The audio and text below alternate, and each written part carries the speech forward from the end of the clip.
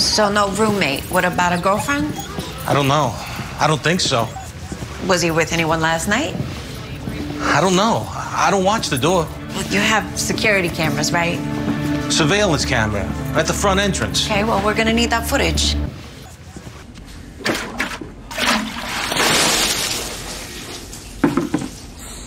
Such disrespect. Look at you, sitting here with your tits out.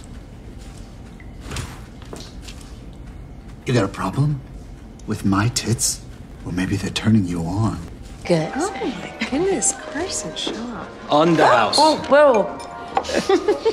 My daughter's back there are fans. We got our fingers and toes crossed for you tomorrow Oh my goodness, thank you. Oh my goodness, Carson. This is the real. The gold is a good and uh, the ruby is a good. But I want to check a few things just to make sure it's the actual evening sun. I'm going to take a couple photo, okay? Hey, do what you gotta do. Just be quick about it, all right? I know we gotta be cool and shit, Gus, but all I'm saying is that we really out here in the open. We out here. This is New York. No one cares.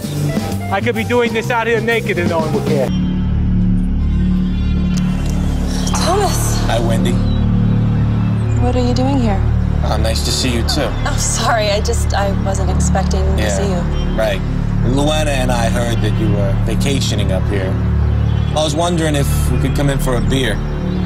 If you have us. Luana's here. Yeah, she's in the car. Does Ed know you're here? I haven't talked to him today. How did you think we found you?